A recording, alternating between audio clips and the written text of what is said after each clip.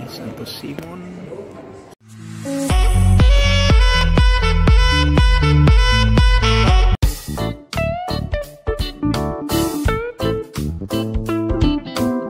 hayati cerita gunung yang sudah digeser, ya kan?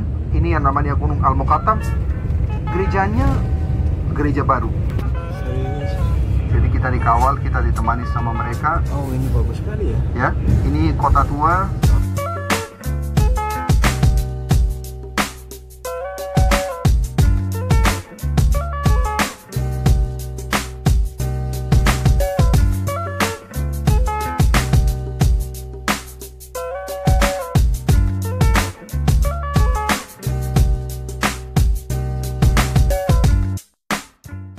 A few moments later.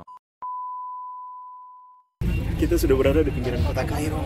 Kita eh, nama tempat Al Mukatam kalau tidak salah. Ya. Kita mau menuju ke salah satu gereja yang terkenal.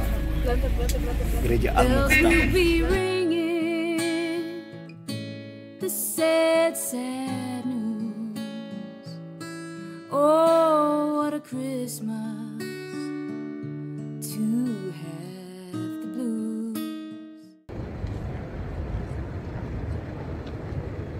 Halo.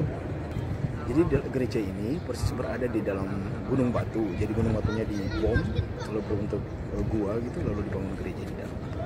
Gerejanya indah katanya. Itu kita buktikan sama-sama. Di gereja ini dibangun untuk mengenang eh, mujizat yang terjadi yaitu gunung berpindah sejauh 3 km.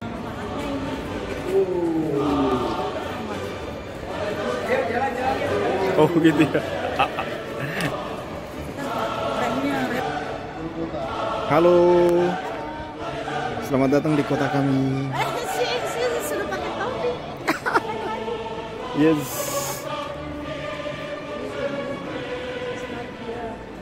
Bagus katanya ya. Asisi.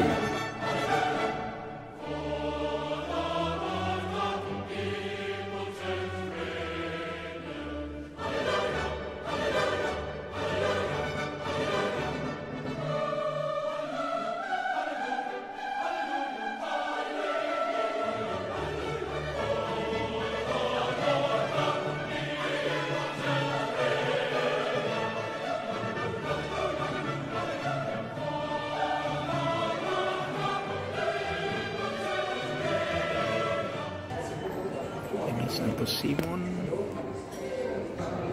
Ini relikwi Santo Simon. Jadi orang-orang sini mereka tulis doa-doa mereka di kertas itu ada kertas kecil-kecil di sana. Di relikwi Santo Simon kalau tidak salah.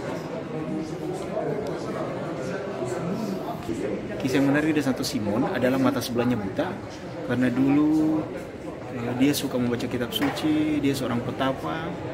Lalu ketika dia jatuh cinta dia merasa bahwa itu sebuah kesalahan besar. Jadi dia mencungkil matanya.